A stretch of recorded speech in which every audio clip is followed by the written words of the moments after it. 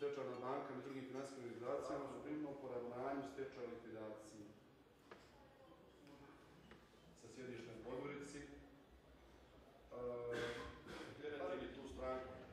Stečajni postupak je postupak koji se vodi, ako se sad samo svestimo negdje, koji se vodi po nekim posebnim pravilima i gdje nemate svakodnevno povjerioci pristupaju privredni sud u Podgorici, da bi se njihovu saradnju sprovodi taj stečajni postupak. Sve su u stečajni postupak, postupak privrednih sporova, izvršenju privrednih sporovima, upis o registra brodova, radi utvrđivanje okolnosti, da li će doći do reorganizacije stečajnog dužnika, dužnika, prodaju njegove imovine, po pravilu javna prodaju članu 2 nema lica, koji je postupak započeo 10. od 2. 2010. aspekta je to jedno veoma Poštovane kolege, dobrodošli na konferenciju za medije. Prije 15 minuta, kao što znate, završena je druga tematska sjednica vlade, održana je ovde u ovoj sali, na temu unapređenja poslovnog ambijenta. Predvidjeli smo da vam potpredsjednik vlade i ministar pravde Duško Marković i nakon toga ministar financija Radoje Žugić iznesu e, detalje o sadržaju ove dvodnevne sjednice i nakon toga, naravno, potpredsjednik Marković i ministar Žugić su otvoreni za vaše pitanja. Izvolite, potpredsjedniče. Hvala Srđa. Poštovani predstavnici medija, kao što ste čuli, vlada je juče i danas održala svoju drugu tematsku sjednicu posvećenu napređenju poslovnog ambijenta. Na ovoj sjednici razmatrano je nekoliko e, pitanja i ja ću ih nabrojati kako, je, kako su one tretirane na samoj sjednici vlade, kao što sam rekao juče i danas. Prva, prva tema je bila značaj reforme pravosuđa za, unapređenje poslovnog ambijenta, prije svega sa aspekta efikasnosti e, privrednih sudova, pravosudnih postupaka i izvršenja ugovora. Druga tema je bila predlog mjera za unapređenje poslovnog ambijenta u oblasti financija i imovinsko-pravnih odnosa. Treća tema je bila predlog mjera za unapređenje poslovnog ambijenta u oblasti javne uprave i poslednja, zadnja tema je bila predlog mjera za unapređenje poslovnog ambijenta u oblasti održivog razvoja i turizma. Sve ove teme su tretirane na ovoj sjednici vlade sa aspekta da naš ekonomski i poslovni ambijent učinimo interesantnim ne samo za domaće investitore, već i za strane investitore i na taj način stvorimo prepostavke za ubrzani ekonomski razvoj kao uslova, da kažem uslova za ukupan društveni razvoj koji će, koji, čije rezultate bi trebali da osjete i građanin kao pojedinac i svi društveni subjekti koji u Crnoj Gori ostvaruju svoje interese, bilo da su privredni ili neki drugi. U tom smislu e, reforma pravosudnog sistema i e, nezavisno, odgovorno i pouzdano pravosuđe predstavlja, da kažemo, osnovnu prepostavku ukupnog društvenog i ekonomskog razvoja. To znači da u Crnoj Gori e, trebaju da budu sigurni svi, e, građanin kao pojedinac i privredni subjekti koji u Crnoj Gori posluju i ostvaruju, ostvaruju svoje interese. To ne znači samo da je sa aspekta e, pravne sigurnosti, odnosno vladavine prava, stvoren povoljan ambijent da neko ulaže novac u Crnu Goru, već i sa drugog aspekta da onaj ko dolazi u Crnu Goru poštoje e, nacionalno zakonodavstvo, poštoje propise i na taj način doprinosi ukupnom dobru Crne Gore. Zbog toga je veoma važno da sprovodimo reforme na tri nivoa kada je u pitanju ova oblast. Prvi je, da kažemo, taj normativni, drugi nivo jeste institucionalni i treći nivo je implementacioni. normativ, na normativnom planu već smo uradili puno i te reforme daju rezultate. One se sada posebno sagledavaju i prate u okviru naših obaveza na, kada je u pitanju naša evropska, evropska agenda. Institucionalne reforme podrazumijevaju snaženje naših institucionalnih kapaciteta e, i sposobnosti pojedinaca da u tim institucijama e, poštuju i primenjuju, primenjuju zakon. E, vjerujem da je današnja rasprava ukazala i na dosadašnje rezultate, ali i nedostatke u procesu reformi i niz zaključaka iz ovog segmenta je išao u pravcu poboljšanja našeg normativnog i institucionalnog kapaciteta, naravno i implementacione sposobnosti naše administracije da poštuje i primenjuje, primenjuje propis. Ključna, da kažemo, tema u ovom smislu, kada se tiče unapređenja poslovnog ambijenta, jeste unapređenje e, postupaka koji se tiču e, privrednog suda, odnosno postupaka koji se vode pred privrednim sudom u privrednim, u privrednim sporovima, jer smo primijetili da e, postupci dugo traju i da se ne zadovoljavaju osnovni principi pravde, posebno kada su u pitanju stečajni postupci gde je brzina i efikasnost stečajnog postupka ovaj ključ čitavog, čitavog procesa. Osnovni zaključak je da postojeći zakon o stečaju koji je dobar, koji je modern, koji je usaglašen e, sa najboljim evropskim standardima u nekim segmentima treba mijenjati kako bi ubrzali stečajne postupke i kako bi u ovom smislu obezbijedili ono što su interesi i povjerilaca i e, stečajnih dužnika u, svakom, u, svakoj fazi, u svakoj fazi postupka. Ono što je takođe veoma važno s ovog aspekta je, jeste, jeste arbitraža, arbitraža i mi smo e, dogovorili, dogovorili sa, da, zaključili na današnjoj sjednici da se u 2014. godini pristupi donošenjem novog zakona o arbitraži i taj posao će Ministarstvo pravde raditi sa privrednom komorom i sa e, međunarodnim, međunarodnim ekspertima. Vjerujemo da će taj novi zakon o arbitraži koji nam nedostaje biti e, snažno posticajan i za privredne subjekte, a i rasteretiti sudove drugih i necelishodnih, necelishodnih postupaka. E, kada je u pitanju implementacija, kada je u pitanju implementacijona sposobnost, želim da vam kažem prije toga da su da je naša konstatacija da su novi pravni instituti koji su uvedeni u naš pravni sistem, prije svega notarijat, zatim e, posredovanje, posredovanje i e, od ove godine javni izvršitelji u značajnoj mjeri učinili efikasnijim e, naš, da kažemo, pravni sistem u pogledu vršenja pravnih poslova, izvršavanja ugovora i u narednim aktivnostima ćemo se daljem snaženju ovih instituta snažno posvetiti kao važnim, da kažemo, segmentima e, pravne sigurnosti i posebno pouzdanosti u pravnom, u pravnom, u pravnom prometu.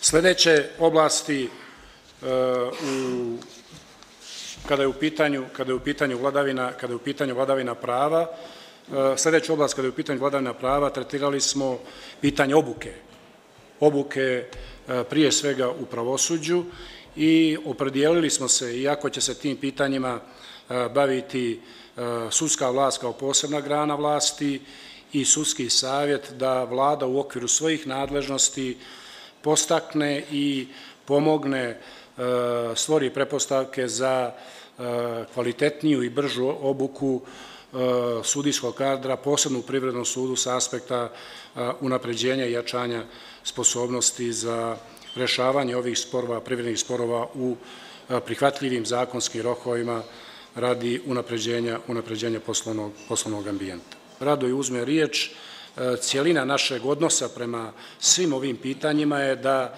svi predlozi, svi zaključci, sve preporuke trebaju biti sagledane u okviru nadležnih ministarstava nakon ove sjednice vlade, da ti predlozi moraju proći vladinu proceduru preko nadležnih komisija, a onda i na vladu kada će se znači, definitivno zaokružiti plan aktivnosti i rokovi u kojima, u kojima to moramo u kojima to moramo završiti.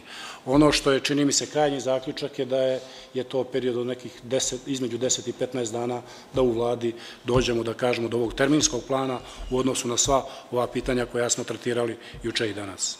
Poštovani poslanici javne riječi, evo pošto je potpredsjednik Marković dao malo duže uvodno izlaganje, ja ću se nadovezati i pokušati da iz nekog svog ugla dodatno osvijetlim sve ono što je bio predmet druge tematske sjednice naše vlade, a prije svega da kažem da ovakav način rada, pošto se često apostrofira u javnosti, e, daje dodatne impulse i više timskom radu, ali i većem stepenu posvećenosti. Tako da mislimo da je ovakav način e, bavljenja izvršnom vlašću kroz pojedine teme koje su u fokusu naše vlade svakako daju snažan doprinos kvalitetu i efikasnosti rada same vlade. Na početku bih kazao da je vlada posvećena svakako od početka svog mandata snažnom procesu fiskalne konsolidacije, strukturnim reformama, ali i lakoći poslovanja. Sve to je u funkciji onoga što mi moramo da uradimo, a to je generisanje snažnijih, većih stopa rasta, kako bismo ostvarili i veći nivo zapošljavanja i viši nivo životnog standarda i ostvarili ono što je osnovna funkcija naše vlade. Da vas kratko posjetim da smo u procesu konsolidacije donijeli više nepopularnih i teških mjera, da imamo adekvatne efekte, ali da se u ovom periodu bavimo određenim relaksacijama, posebno kada su u pitanju penzioneri, odnosno onaj dio e, socijalne podnošljivosti E, tereta fiskalne reforme, prije svega na najstariju populaciju. Na prvoj sjednici u Kolašinu smo razgovarali o strukturnim reformama i na tom planu donijeli zaključke, a danas je tema svakako jako važna, jedan treći stup, tako bih to nazvao, e, dinamiziranje ekonomskog rasta, a to je smanjivanje biznis barijera u funkciji lakoće poslovanja. Dakle, biznis barijere su svakako regulatorne barijere, odnosno barijere normativno-regulatornog okvira koje su e, za čitav vijek trajanja jedne firme svakako utiču na njenu produktivnost, time na e, konkurentnost, a sa makro aspekta ove barijere utiču i na dinamiku ekonomskog rasta, životnog standarda i ukupnog ekonomskog razvoja. Ekonomska nauka je dokazala da je regulacija biznisa dakle važna determinanta ekonomskog rasta. Znamo također da tržište nije perfektno, da sa elementima imperfektnosti ovakve regulacije, odnosno regulatorni aspekt mora biti u fokusu svake vlade.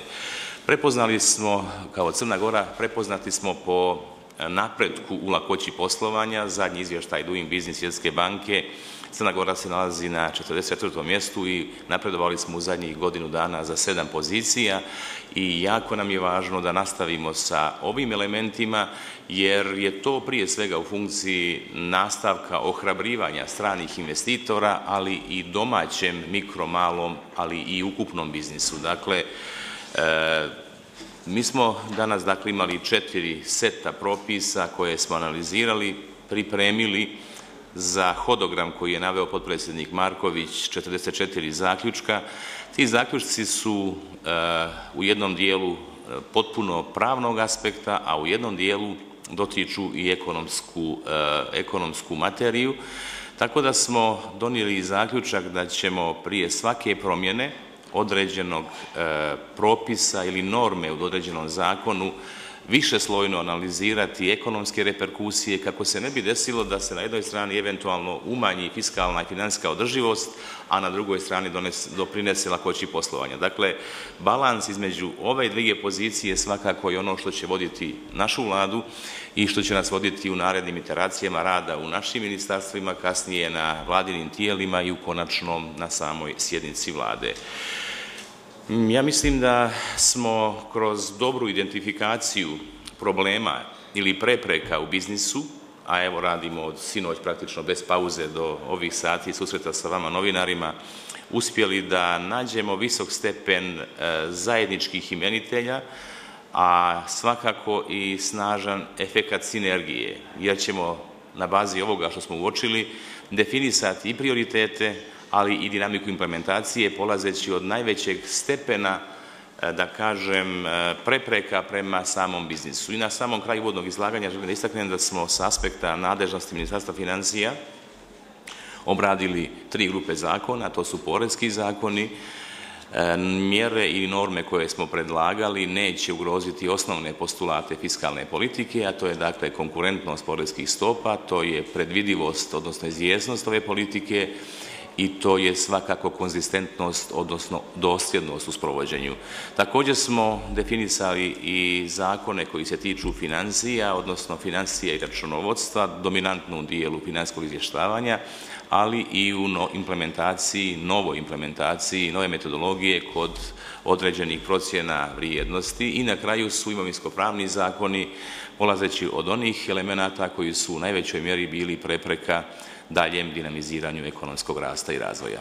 Svaki od njih je interesantan i pretpostavljam da ovdje ima dosta posla da će biti dosta, e, je tako, inicijativa za izmjenu zakonskih propisa. E, ono što se e, pisalo u medijima ovih dana jeste da ste možda razmatrali i smanjenje porezkih stopa u ugostiteljstvu.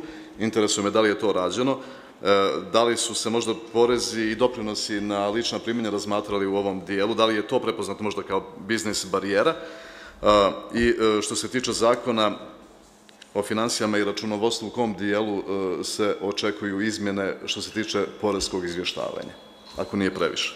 Hvala. Nije previše, svakako da smo imali širok aspekt, odnosno širok obuhvat svih tema koje se tiču porezkih propisa. Razgovarali smo svakako i o nivou stopa poreza na dodatu vrijednost, i u dijelu koji ste vi pomenuli, ali bilo koja promjena, bilo koje porezke stope mora da ima u prethodnom detaljnu višeslojnu analizu efekata po održivost, prije svega fiskalnog sistema, a time i finansijsku stabilnost. A generalno, ako je financijska stabilnost uslov ili preduslov svakog razvoja, onda moramo poći od te premise. Tako da ćemo, kad detaljno izanaliziramo, ne samo jednu djelatnost, nego sve djelatnosti, a posebno one koje su prioritetne našem razvoju, turizam, dakle energetika, poljoprivreda, infrastruktura, dakle teret e, porezkih e, stopa po svakom od ovih osnova će biti detaljno analiziran. Znam također da je velik stepen interesovanja i za javne prihode, posebno na zarade, i to je našem fokusu, radimo to i na vladi, radimo to i na komisiji za suzbijanje sive ekonomije, predlagat ćemo adekvatna rješenja, ali i u ovom slučaju prethodno na bazi onoga što se tiče fiskalne održivosti, ponavljam, jer ne smijemo e, nedoslednošću, već sasvim suprotno, raditi na implementaciji ovakvih propisa. I na kraju, zakon o računovodstvu i reviziji je zakon koji će doprinijeti unapređenju izvještavanja, e, tačnosti, pouzdanosti informacija i državi i investitorima, a svakako segment ovog zakona će biti i nova metodologija procjene koja će omogućiti da neki način da se i ovaj u vremenskoj dimenziji element, tako da ga nazovemo biznis barijere, dovede do većeg nivoa efikasnosti. Darko Bulotović iz televizije Vijesti. Ja se jedinjam dva, ali ako može, baš kratko pitanje. Ovdje ste pred kraj vašeg izlaganja pomenuli e, da se pokušaju izbjeći ekonomske reperkusije u odnosu na pravne normative, pošto se mnogo toga, e, kako ste i sami pomenuli, jedno s drugim, da kažem, eto, prosto kači. Možete li nekom konkretnom primjeru nam reći gdje ste to zaključili i ovako uvidjeli te, ta sudaranja? Ne bih to nazvao sudaranjem, već e, dodirnim tačkama svih e, i pravnih i ekonomskih aspekata. Dakle, promjena svake norme u porezkim zakonima proizvodi reperkusije na javne prihode i to je taj element koji će, dakle, iz toga moramo analizirati sve, sve aspekte, kao i ovo što je gospodin Leković postavio. Dakle, on je pitao da li smo razgovarali o smanjivanju stope PDV-a ne možemo raditi na pravnoj normi, a da nemamo jasnu sliku svih ekonomskih reperkusija. Nadam se da sam sad bio jasniji u odnosu na prvi dio odgovora. Samo s početka vašeg izlaganja pomenuli ste penzionere, e, pretrčali ste možda, je li nešto konkretno pričano, pošto znamo da je ta kao vrlo bitna e, kategorija ovog društva već dugo vremena, da kažem, nekom stand-by. Nijesam pretrčao, nego sam eh, htio da ostavim prostora upravo za ovakvu vrstu komunikacije. Po meni, ozbiljnost svake države se mjeri odnosno prema najstarijima, pa i naše. Mi smo poodavno na vladi zaključili, znate, ministar financija je po prirodi stvari i po nadležnosti neko koji je restriktivan Konzervativan. ili konzervativan, kako kaže gospodin Marković, i često smo mi u nekim, ne neslaganjima, nego u e, dilemama da li je previše nešto zategnuto, odnosno opterećeno ili nije. Generalno smo donijeli zaključak da od svih nepopularnih mjera ova mjera u ovoj godini bude ukinuta. Radimo također analizu potencijalnih novih izvora finansiranja radi većeg stepena održivosti fonda PIO sa jedne strane, ali radimo i model usklađivanja vrijednosti penzija za vrijednost jednog ličnog boda, budući da mi danas iz budžeta za kao garancija shodno zakonu o penzijskom invalidskom osiguranju izdvajamo 45 od 100 Dakle, penzije finansiramo dijelom iz doprinosa, a dobrim dijelom iz poreza. Moramo naći adekvatnu formulu održivosti, ali svakako ovu nepopularnu mjeru prvo, prvo ukinuti. Vladislav Vačan, televizija 777. Ne želeći da iznevjerimo tradiciju da uvijek postavimo pitanje gospodinu ministru financija zbog ovaj resorno najbližem e, pitanju koje ću postaviti. Koristimo priliku i pristup gospodina Markovića da to pitanje ponovimo i danas, e, pogotovo što mislimo da ima direktne veze i sa ovom temom unapređenja poslovnog ambijenta. Naime, e, Lutrija Crne Gore i televizija 777 koja svoje parče medijsko nebo ostvaruje u njenom sastavu već duže vremena izložene su pravno medijskom i enveovskom nasilju. U kontekstu današnje vladine teme logično je pitati da li su to temelji razvoja i uklanjanja biznis barijera ili direktna obstrukcija istih. Naime, čutanje nadležnih državnih organa, trogodišnje nepostupanje pravosadnih institucija, lažno prijavljivanje, ilegalno priređivanje igara na sreću uz blagoslov pojedinih činovnika izvršne vlasti, diskriminacije i diskreditacije od strane dijela zakonodavne vlasti, medijski progon, samo su dio arsenala koji se uporno koristi protiv e, privrednog subjekta koji zapošljava preko 350 radnika i želi i samo želi da radi svoj posao u okviru djelatnosti od koje država i tekako ima koristi. Konkretno pitam, pa bih željeli bi da imamo i konkretan odgovor. E, Šta ste konkretno preduzeli protiv državnih činovnika i namještenika koji su, koje su, koji su identifikovani u preko 150 javnih saopštenja, koji su postali dio navedenog kolopleta, pogotovo ako znamo da njihovo činjenje, zloupotreba službenog položaja nanosi veliku štetu ne samo privrednim subjektima koji iz djelatnosti igara na sreću, nego što još gore, budžetu i državi Crnoj Gori u cjelini. Evo, po tradiciji da se uključim i odgovorim, svakako da vaše pitanje zavređuje maksimalnu pažnju, riječ je o pravnoj sigurnosti svih privrednih subjekata i po nama tu moramo imati apsolutno neselektivan pristup, već omogućiti da i država i porezki obveznici, a kažete s pravom, da zapošljavate 350 zaposlenih, pa samo javni prihodi po osnovu zarada i sve indirektne efekte po osnovu priliva u budžet država mora da prati u naj, mo, najviše mogućoj ozbiljnoj mjeri. Dakle, za sva kršenja zakona možda je i danas upravo ovo pravo pitanje za temu koju smo danas imali i neažurnost pojedinih organa uprave, eventualno sudova, da ne prejudiciram, ali i sankcionisanje svega onoga što utvrdimo kao nepravilnost. Dakle, trudit ćemo se da u budućem periodu imate apsolutno potpunu pravnu sigurnost u zaštiti prava, jer vaša prava su i interesi naše države, rekao sam jednim dijelom, a to je svakako mnogo, sa mnogo više aspekata interesi same države. Kad ćete opet imati prezime? Pošto ću vas isto pitati za konkretno ime i prezime.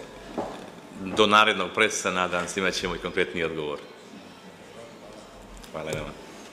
Izvolite. Evo Ime, samo, samo jedan komentar, pošto sam i ja kao ministar pravde dobijao određena obaveštenja vezano za sporost e, po, u sudskim postupcima ili čutanje sudova u odnosu na vaše zahtjeve, odnosno tužbe. Želim da kažem da je suđenje u razumnom roku jedan od ključnih principa vladavine prava i pravne sigurnosti. ministar pravde, ministarstvo pravde nema nadležnosti u pogledu samog sudskog postupka i odluke, ali ima nadležnosti u pogledu, e, da kažemo, povrede, da kažemo, tog osnovnog prava suđenja u raznom roku i preko nadležne inspekcije vidjet ćemo da li je to pravo ovaj ugroženo i ako je ugroženo onda ćemo, onda ćemo intervenisati. Biljana Brašnja, Dnevni list Dan. Za gospodina Markovića pitanje. Malo pre ste govorili o reformi pravosudnog sistema. Između ostalog, ako se ne varam, kazali ste da u Crnoj Gori svi treba da budemo sigurni, i građani, i pravni subjekti, i investitori koji nam dolaze. Šta će Ministarstvo pravde uraditi upravo po pitanju tih investitora, da kažem neodgovornih investitora, koji su samo kupujući firme u Nikšiću ostavili dugove koji se mjere 360 miliona eura? Da li ste o tome donosili neke zaključke ili ćete preduzimati neke mjere? Hvala. Pa, možda ste u ovom uvodnom izlaganju propuštili jednu rečenicu koja baš govori o ovome što ste vi pitali. Znači, pravna sigurnost, odnosno vladavina prava kao važan faktor povoljnog ekonomskog ambijenta, a povoljni ekonomski ambijent je šansa za sve u Crnoj Gori, da bolje živimo, nije samo da mi u Crnoj Gori stvaramo e, stvaramo principe i standarde da poštujemo zakon, mi u Crnoj Gori, bilo pojedinci ili bilo domaći privredni subjekti, nego da je to obaveza i za one koji dolaze u Crnu Goru da se bave biznisom ili da ulažu svoj novac.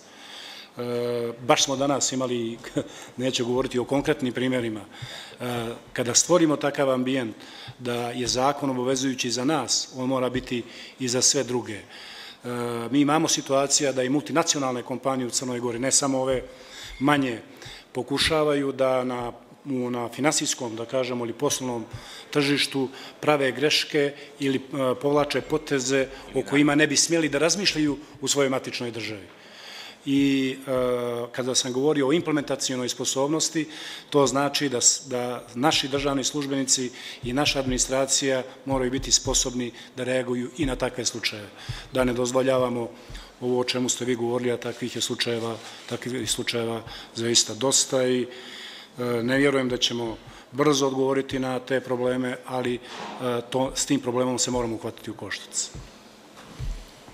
Ljudi. Vladimir Utišinović, televizija Nikšić.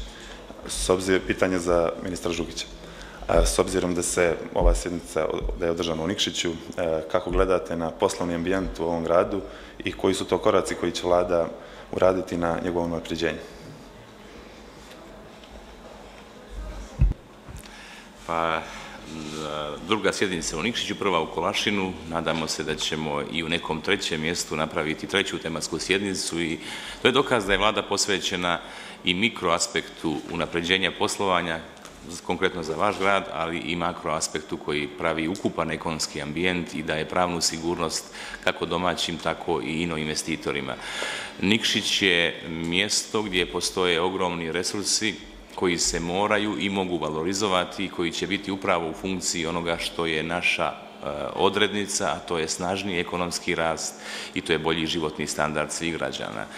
Modele od e, određenih e, mikro, mikro biznis varijanti do, do, do nivoa čitavog grada ćemo analizirati i kroz zaključke koje smo donijeli ovdje i ne samo za Nikšić, već za prije svega moram da budem sad malo i e, otvoreniji. Mi smo u prethodnom periodu e, kompletan sjever Crne Gore tretirali određenim elementima smanjivanja biznis barijera. U tom pravcu smo donijeli i zakon o smanjivanju poreza na dobit, odnosno oslobađanju poreza na dobit za sjever Crne Gore, Nikšić i Cetinje, ali i za porez na zarade pravnim licima i preduzetnicima. Dakle, postoje već stimulansi, nastavit ćemo s analizom daljeg prostora za olakšavanje biznisa, tako da Nikšić nažalost se nalazi u toj grupi, u toj grupi e, uslovno manje razvijenog dijela Crne Gore, ali svakako sa predispozicijom polazeći od resursa i od onog što su naše posticajne mjere da u narednom periodu svakako dosegne nivo razvoja koji mi očekujemo. Nema više pitanja, zahvaljujem i jednu još ću vam dati informaciju, pošto je od jednog medija postojalo enormno interesovanje proteklih dana od cijeni sednice u Kolašinu. Bez pitanja novinara ćemo objaviti cijenu održavanja sednice u Nikšiću. Čim budemo... Izvolite. oko cijene koštanja, budući da, da ne kao neko ko upravlja budžetom, dakle, nesporno da ovo proizvede neki trošak, ali trošak u odnosu na benefite koje se ostvare kroz sinergetski, timski i posvećen rad je zaista zanemarljiva kategorija.